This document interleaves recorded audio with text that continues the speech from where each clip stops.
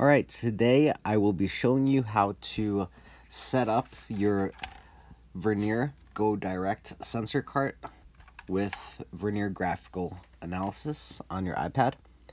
So first we are going to tap on New Experiment and we'll choose Wireless Devices.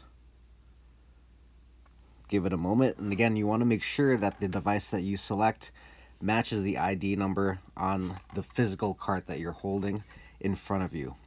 So I will select mine.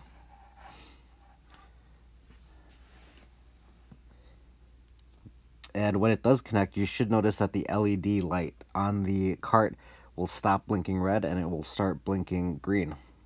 Now, before let's uh, before we start uh, talking about data collection, let's uh, talk about how we can set this up to do various things if you go to tap the eye and go to sensors, right now its default is just do position. So if you're doing uh, the Unit 3 lab, all we need is position.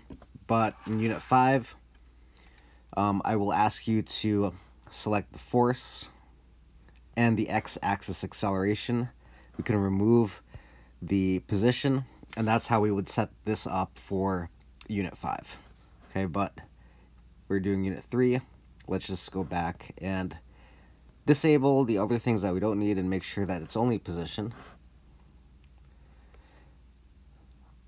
And we should be good to go. Now, you'll notice that whenever the cart rolls in the positive and negative direction, that the position at the bottom will change. So you want to make sure that when you conduct your experiment, your cart is where you want uh, your position zero to be. And once you're happy with where your cart is located on your track or on the floor, that's when you want to zero it right there.